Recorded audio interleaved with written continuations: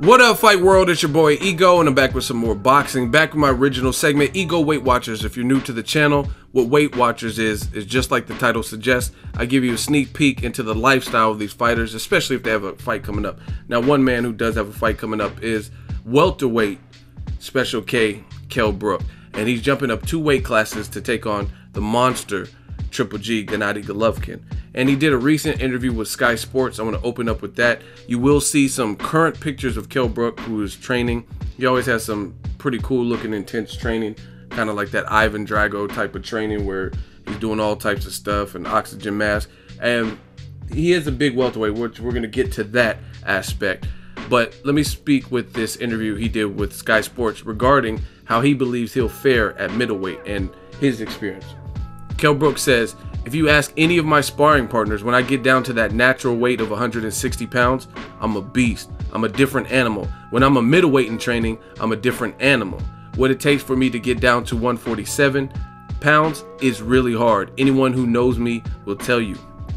He also says, I'm going to be frightening on fight night. As crazy as it sounds, I'm looking forward to feeling his power, referring to Gennady Golovkin. I just can't wait to get in. We're making history in this fight. Nobody at 147 will step in with me, or if they're talking, they're pricing themselves out. Now, that last part, real quick, I don't agree with it. I spoke to Errol Spence Jr., and he sounded down to fight you. My brother. Tell me three people you'd like to fight next. Three people. Uh, went out of Kell Brook, Jesse Vargas. Went out of Shawn Porter, Keith Thurman. Danny Garcia. Okay, you and Kell Brook, how fast do you knock them out? I don't know. Uh, maybe in, in six, six rounds. Mike, what do you think? Six rounds or less? I think three. What do you think? At the most seven. What do you think? I don't think be able to handle this boy body shots, man, what he delivering. It all depends how long they can take that. And him knowing his position and just speaking with him, even off the record stuff that we talked about, I don't think he would be pricing himself out. I think he realizes that he's not a champion and he wants those opportunities with the big names, whether it be it Danny Garcia, Kell Brook, Keith Thurman, Shawn Porter winner, things like that. And that's what he told me. So I, I highly doubt that he would all of a sudden have quote unquote diva demands, knowing he's not a champion and that he's still growing and building his resume to not fight Kell Brook. Every interview I've heard, even this post fight after he destroyed Chris Algieri, something Ruslan Provodnikov and Manny Pacquiao were unable to do after he stopped and destroyed. Well, Pacquiao destroyed him, but he didn't stop him. And same thing with Ruslan. He did good in the first half, and then he kind of got outboxed. But bottom line is, everything Errol Spence Jr. has stated shows that he wants the Kell Brook fight. So I don't know what Kell Brook's talking about. He can't get a fight at 147. Keith Thurman, I've also heard him say he would fight Kell Brook in the UK. And I don't remember hearing Eddie Hearn or Kell Brook say of any failed negotiations where Keith Thurman priced himself out. So a lot of people just say this whole oh Broner priced himself out. How much are you offering him to fight Pacquiao?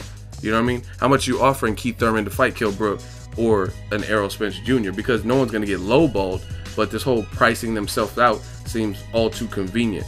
But I'm not gonna speculate because I don't even know if they negotiated with guys like Errol Spence Jr. in deep negotiations or a Keith Thurman. But I want to talk about these pictures and then him saying I'm a beast, a different animal, a middleweight. Now that's what he's saying is true. He is a big welterweight, but being a big welterweight does not make you a middleweight, and that's customary. What he's saying about in training camp he feels great and then having to lose. I talk to fighters all the time. Troy King is an excellent resource for when it comes to boxing and, and giving the fighter experience. I've done tons of videos with him and talked to him on the air, off the air about different things about the fighter experience, cutting weight and losing those last four or five pounds, sometimes two pounds, things like that. And what Kell Brook is saying is customary. When you're sparring at a heavier weight, you feel good. Guys like Canelo, they feel good, feel comfortable, and then they may have to struggle a little bit to cut weight. With boxers, that's one of the things and one of the reasons I like boxing because there's no other experience, another sport like it. What these fighters do to their bodies, the flexibility, getting knocked out and then taking a tough fight right after.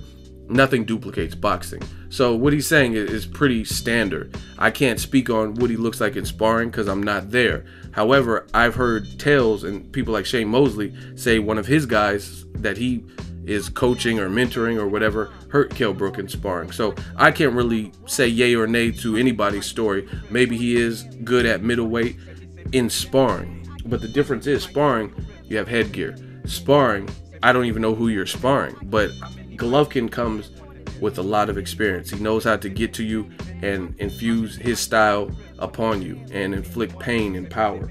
So it's different with no headgear, with you know what I mean? Because I've heard sparring sessions like they said Robert Guerrero rocked Pacquiao way back in the day, and from Ruben Guerrero, what he was saying is they ended the sparring session like cut it, cut it, cut it, cut it off. And I've seen and heard about different things like that, even at Virgil Hunter's gym or whatever gym, right? That's customary. Like you don't want your fighter to lose confidence. So that's the difference between sparring.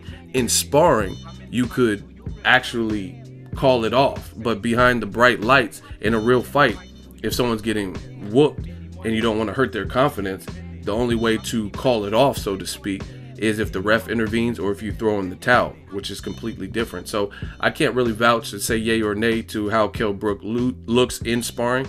He says I'm a beast, a different animal when I'm a middleweight. I'm sure he feels more comfortable, but again, it's different, especially because I guarantee you his sparring partners with headgear, none of them probably packs the punch that Golovkin has, is a champion or the same pedigree of a Golovkin. So it's kind of hard to to state and compare what you do in sparring to what I've seen guys that look great in sparring. I'm not gonna say any names because I don't have to to um, put anyone on blast. I've seen people look great in sparring. They said they were ready. They said Canelo when he was preparing for the Mayweather fight. Go back and look the articles. I cover boxing, so I remember I cover stuff like this. They said Canelo was knocking out all of his sparring partners, or they couldn't keep guys around because they were getting destroyed one by one. They had to bring in bigger guys and all this stuff. But what happened when he stepped foot on that canvas against Floyd Mayweather? All of that disappeared. And again, I said this before.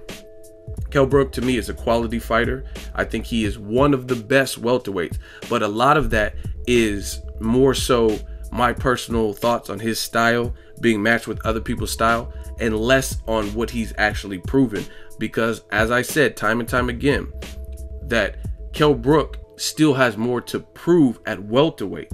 Because ever since Shawn Porter he hasn't fought anyone who we consider to be an elite level current welterweight and that's real. And Shawn Porter was the last person. So I'm hearing a bunch of people who are saying things like, "Oh, this is way different than Canelo versus Khan because Canelo is bigger and he's fighting Khan and he has a no chin, and Kell Brook has a much better chin."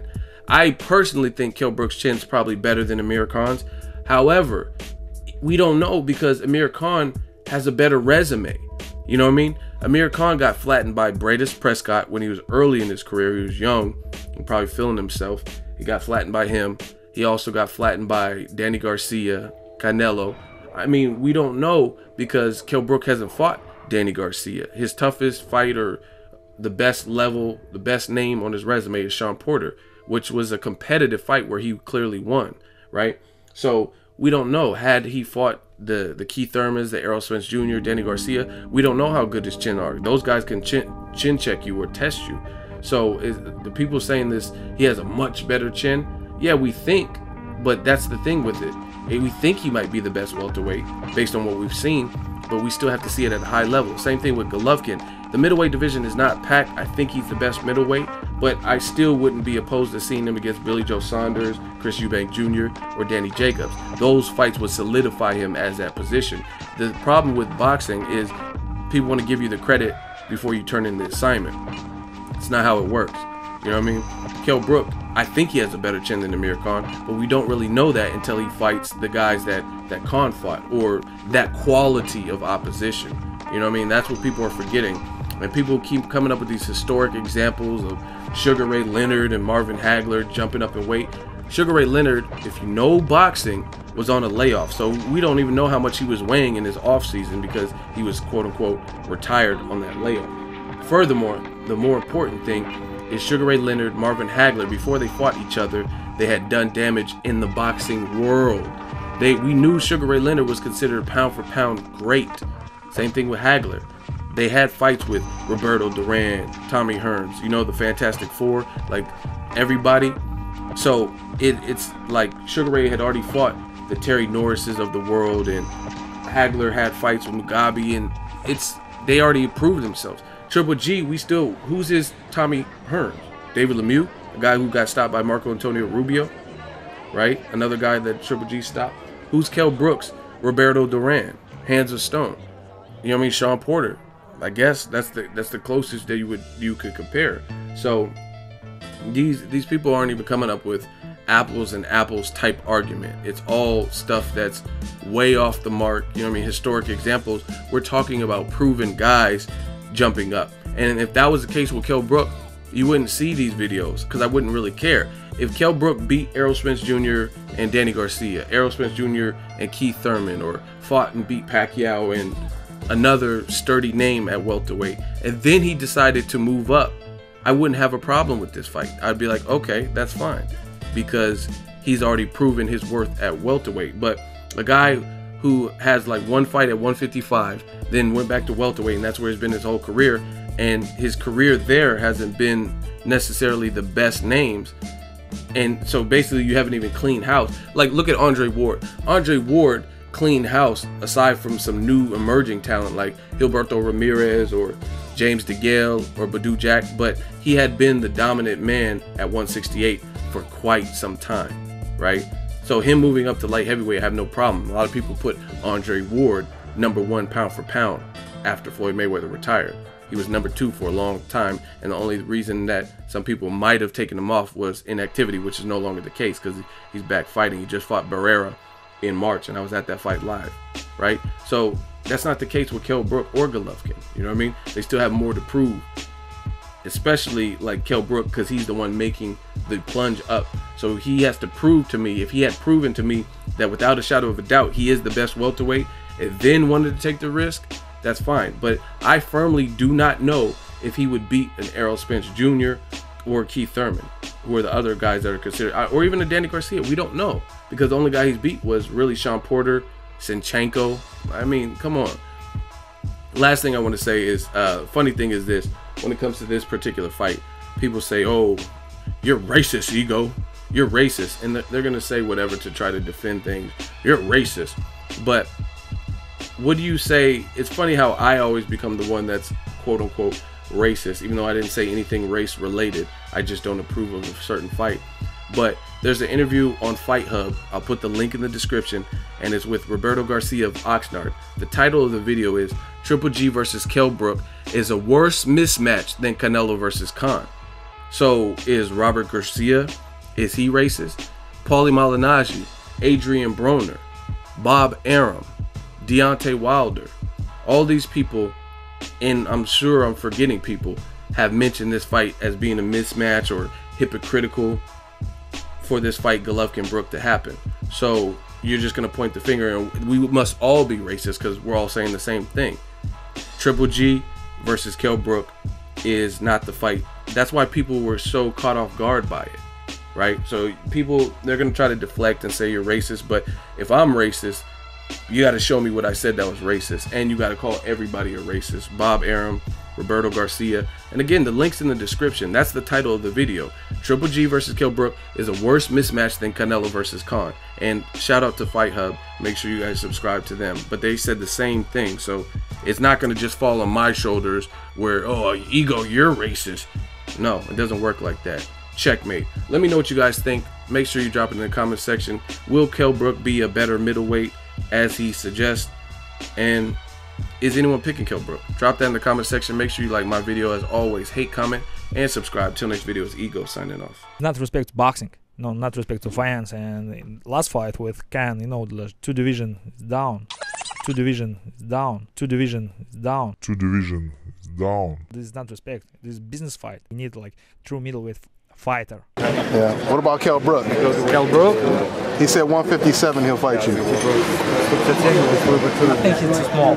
Too small? Too small, yeah. You know, my focus on 160, middle division right now. Kell Brook, or everybody, just trash talk. You know? So if you enjoyed this video and want more content like this on the channel, You can show your appreciation by going to the PayPal donate button or the YouTube support button, and you can donate any amount that you feel is equivalent to the value of this video. Much more to come. Thank you guys for your support. Boxing Ego, the future of boxing.